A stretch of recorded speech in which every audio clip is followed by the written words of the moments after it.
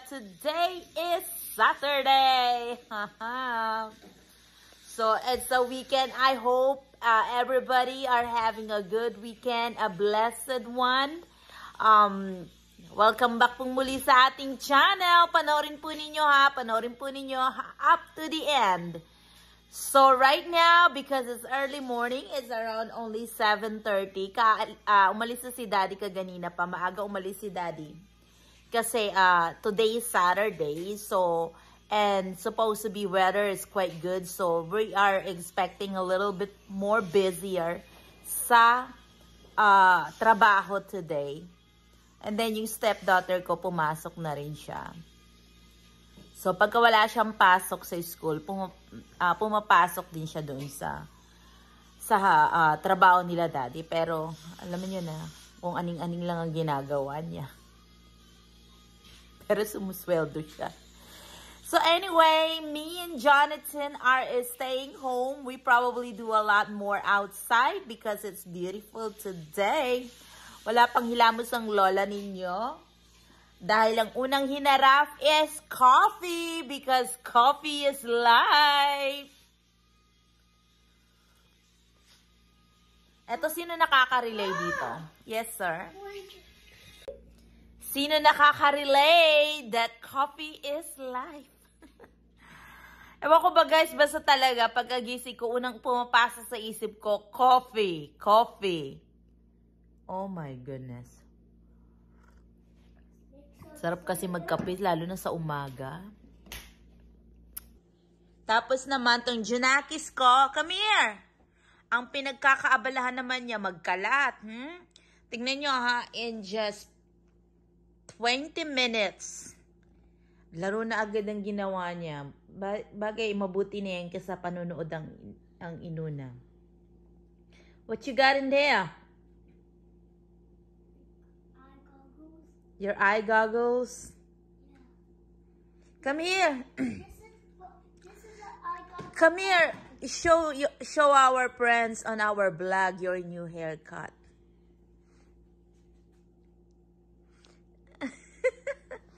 Say hi, everybody. Hi, everybody. Hi. Lumalaki na si Jonathan. He is so growing up now. Grabe. Ito naman si Missy, yung pinagkakaabalan niya matutulog-tulog. Malaki na yung aking, ano, Junakis. Junakis. You know, Junakis means anak. That means you're my child. Know, anak means no, no, child.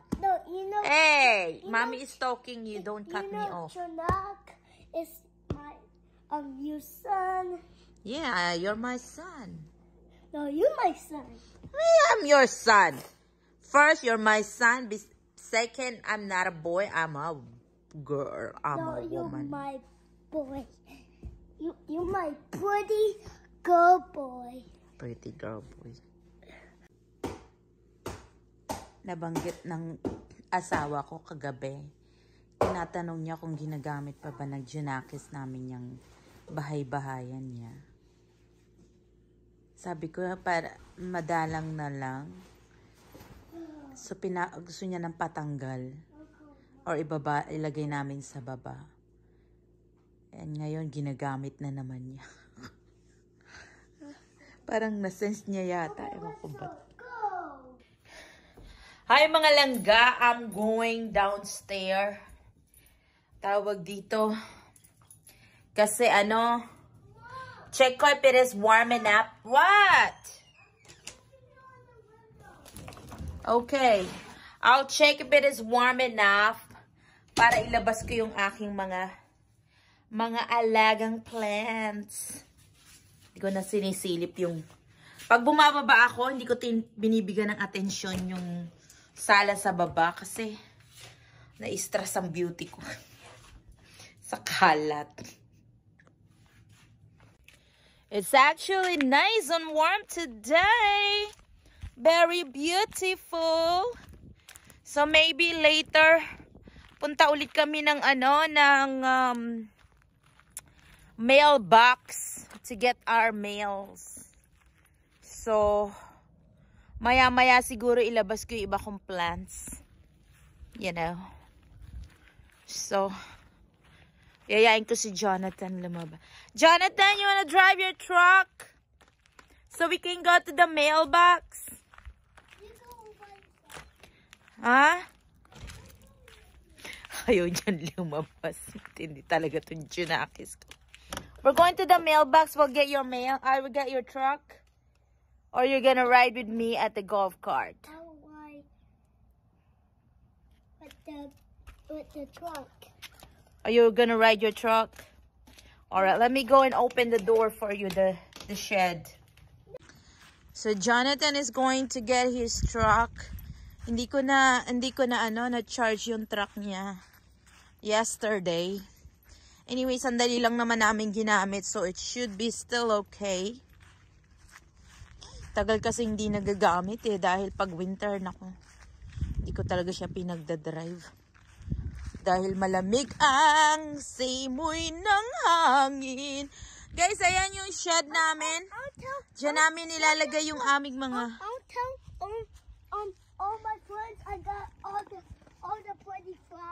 Oh, that's so sweet. Diyan namin nilalagay yung mga Christmas stuff, yung mga gamit na hindi namin. Hindi na namin, seasonal baga. Mm. Thank you. You're I welcome. just saw a spider. Ayan. I just saw that. Okay. So, dyan namin pinapark yung sasakyan ni Jonathan. Para mas malapit sa bahay. Kasi dati sa sa shop ni Daddy, sa workshop ni Daddy, eh, that means he needs to walk a little farther. There's my little driver. Hey, close it. Don't, don't close it because you, we- just leave it open until... Go. Okay, I'm going to the golf cart now, okay?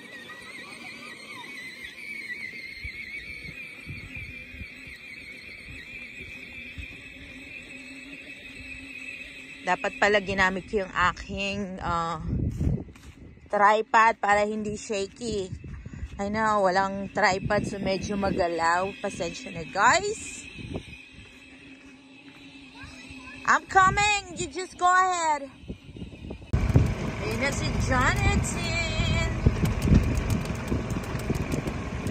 Ayun yung shop ni Daddy. Medyo mahangin ngayon. Pag umahangin doon malamig. Pero pag hindi naman siya umahangin, hindi naman siya malamig.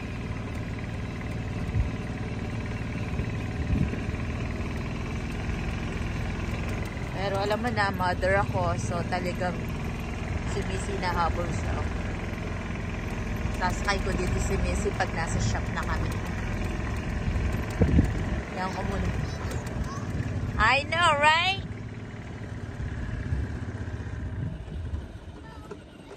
Ayaw niya na actually ng truck na yan kasi ano, mabagal na daw kasi 5 miles per hour na la lang. Okay lang last year.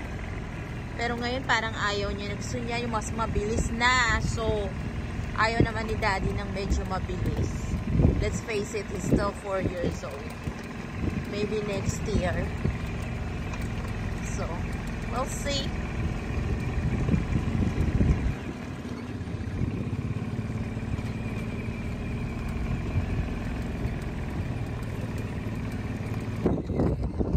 Imagine guys, yung mailbox namin nandun pa. Dun sa main road. Diyan sa road na yan. Ganyan kalayo yung aming mailbox. As in, diyan. Diyan yung mailbox namin. I'm coming! I'm coming! Si Jonathan. Hawak ko si Missy habang nagda-drive ako. Kasi, tawag dito. Basta paglalagpas na kami dito sa closest neighbor namin kay Mr. King, hinahawakan ko na siya kasi ayaw namin siyang masanay.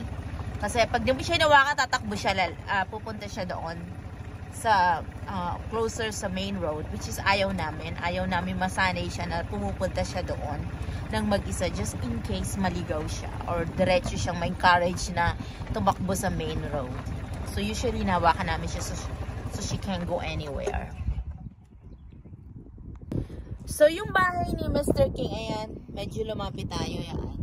Namatay na po siya. May edad na siya eh. Nasa ah, 90s na siya nung mamatay last year. Um, tapos, so, gustong bili ng asawa ko, pero hindi pa decided yung mga anak kung ibebenta nila. Actually, yung lupa, hindi siya ganun kalaki. Yung kinatitirikan ng bahay, tapos a little bit spacious, uh, may, may garden-garden si Mr. King. Yun yung kanyang property. So, gusto ni daddy sanang bilhin para wala nang ibang, kasi may right of way siya eh. So, kung sino man yung titira o makakabili ng bahay na yan, obviously, entitled siya um, na dumaan dito sa sa road, dito sa daan namin. Which is, okay lang sana, kaya lang syempre, um, hindi, hindi, syempre pagka, pagka ganyan, either kung ibebenta nila, hindi, hindi alam ni daddy kung sino makakabili, uh, kung paparent, ganun din, uh, are they yung uh, responsible people ba? Kasi, etong daan na to, yung daan, si daddy nagpapatag niyan. Siya yung lahat gumagawa, sa kanya lahat. So, syempre, 'di ba? Okay lang sa kanya. Uh, although si Mr. King nag-offer ng magbigay ng pera or mag-contribute, sabi ni daddy, okay lang, 'yun. Uh, so, 'yun ang problema ngayon ni daddy. Keep going, go to the house. And obviously, syempre, uh, for safety din, ayaw ni daddy ng kung mami, hindi namin kakilala, hindi mo alam kung sino yung uh, magre-rent ng bahay, uh, diba? Tapos mga strangers, isa yung way, tapos close sa shop. Malayo sa bahay pa namin, pero malapit na sa workshop ni daddy, which is uh, maraming mga mamahaling tools, equipment, machine si daddy sa sa shop niya. Although may security, hindi mo masabi. So anyway, at saka hindi lang yun, syempre yung mga pumapasok sa daan na to, yung stranger, for safety reason, yun ang isa sa mga ano ni daddy, concern. So hopefully, kung decide nilang ibenta, uh, i-offer agad, sa, kay daddy nila uh, i-offer. Kasi nag, kinausap naman sila ng daddy. Um, ma, ano naman, uh, mabait naman yung mga anak, kakilala ni daddy, kakilala ng family nila daddy.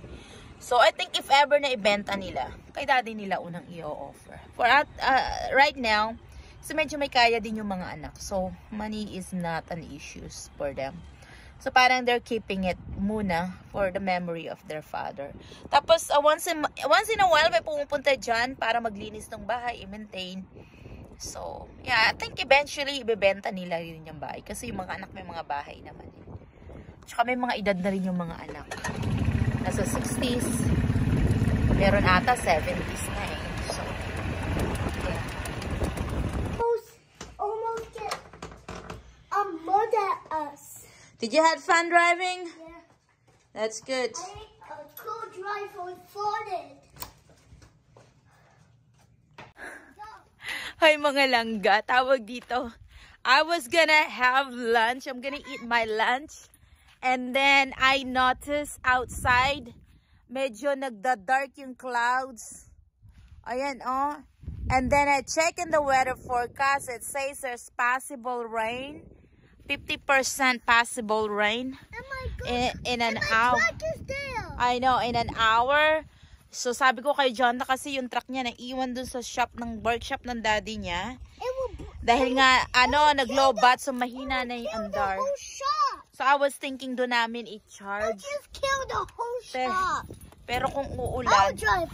Drive. hindi po pwede kaming doon. Okay, So okay. kailangan, kahit mabagal, Oh, you. kay- kailangan, Okay, okay. kailangan niyang, kailangan namin ibalik sa sa shed. Doon na namin, kaila, doon na namin i-charge. Kasi pagka naulanan yon ano, baka masira yung battery ng truck niya. So, si Jonathan ang nagda-drive. Pero hindi niya abot yung pedal. So, ako yung ako yung nagko-control ng pedal. Siya naman yung nag, nagmamaneuver kung saan pupunta. Two years old pa lang to, ganyan na siya nag mahawak na siya ng manubela kahit sa, sa truck ng daddy. Sa sasakyan ng daddy niya. Don't mga langga, oh. Ayan yung workshop ng daddy niya. Wala ngayon yung si daddy kasi may trabaho. So, nandito kaming, so walang tao ngayon sa shop ni daddy. So, dyan namin naiwan yung truck ni Jonathan but he has to drive it back to the shed even if it is slow. Ayan guys, so tingnan nyo, oh, nagdidilim na. Alas 12 pa lang eh. Nagdidilim na yung ulap. So, tal- uh, 50-50 chance of raining and we don't want his truck to get bad. Okay, go drive. Even it, go. Medyo mabagal na kasi low but hindi ko na-charge kahapon nung gamitin niya and hindi naman niya enough kaya nag-drain ng battery magdamag. So, anyway, ayun na. Babalik na siya sa shop niya, ah, sa bahay. At susundan ko na ang aking Jonekes. Ayan na siya. Ayan, oh, nagdidilim na eh. Kumukulimlim na. So, you really needed to put back his truck to the shed. Hi mga langga! Nalosyong ng beauty ko. Actually, supposed to be, I have a lot of things to do today. Pero just like yesterday, wala rin akong gano'n nagawa sa bahay. Kasi yung Junakis ko, gusto ng laro, laro, laro, at maraming laro. So, we end up playing, drive around with a golf cart, with his truck, and then playing inside the house. So, yeah, pretty much talagang this weekend walang nagawa. Alright, what are you? Under what? Under the board. You're the Blue Ranger. Okay. Oh, I got my, I got my cane. Hi guys! Si Daddy is andito na. And uh, aatin kami ng birthday ng apo ng kasamahan namin sa trabaho. So, pero sandali lang kami. Oh, we're going. Yung truck, yung kotse pala yung gagamitin namin. Hindi pala tong truck niya.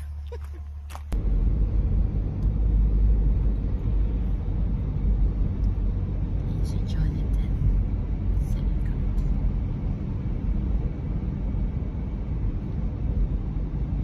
Howdy, fakey, fucky, fuck, fucky, fuck. Get it out now because I better not hear that mess over here. I know that. I will not do that in in Kim's house. Oh, in the We're going to your um, to teacher Sandy's house. how whose teacher said this? The one that uh, your teacher when you were a little boy. Nandito na kami sa bahay ng magbe-birthday. Go. Get down. Ito si Jonathan. Oh, Mukha ng tao, is binihisan ko. Go over there. Jonathan, over there. Go. Okay, you don't do that over there. You have to go outside when you go down. Dito na kami sa ano, may birthday. Si Jonathan. Malayo kasi yung agwat ng dad nila, tatlo. So, kaya medyo iba yung nilalaro nila. Iba rin itong sa Junakis ko. Jonathan, it's over there. Right here. The bullets are here. Yeah, I saw that. It was high.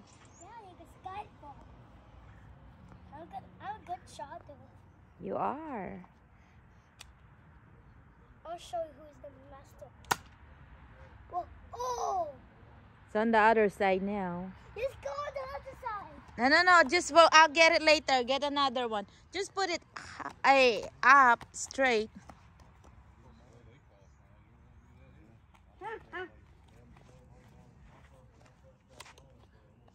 Straight up.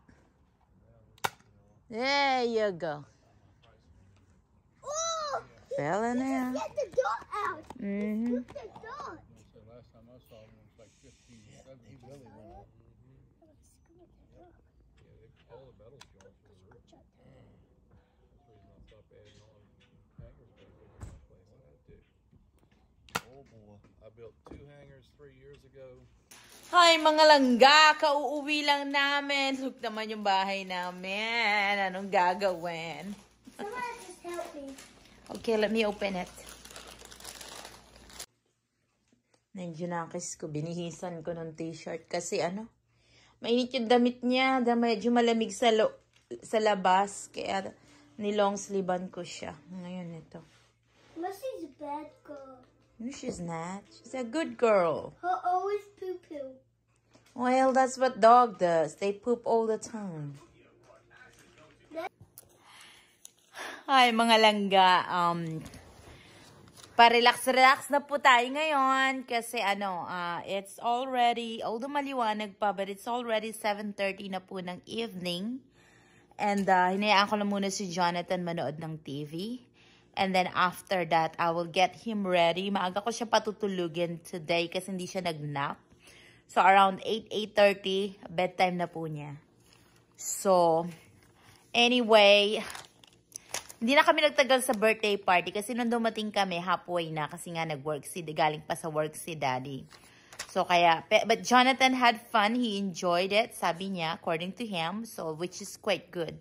Anyway, guys, maraming marami pong salamat sa mga nanonood, sa mga bago nag-subscribe, sa mga loyal uh, viewers ko. Maraming marami pong salamat sa inyo.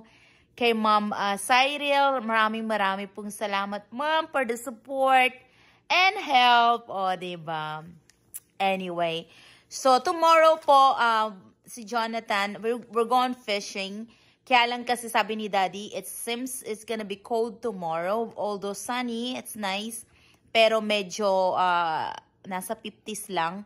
So, pa- pakikiramdaman niya pa kung we will use our boat or mag yung mag mangingisda lang ng may fishing rod. So, he's not uh, quite sure kung um, okay ba na mag-fishing, na gamitin namin yung boat pag nag-fishing kasi nga malamig or dun lang kami sa deck uh, mag mamimingwit lang kasi he made a promise to Jonathan. So either way, boat mag-boat kami or sa mag-fishing rod lang, eh, kailangan pa rin ni Daddy i-fulfill yung promise kasi we try to keep na kung ano yung uh, sabihin namin kay Jonathan, we try to, to live up with that. We try to keep it na talagang i-fulfill namin yung promise sa kanya. So, anyway, so Jonathan is quite excited with that. So, we will see.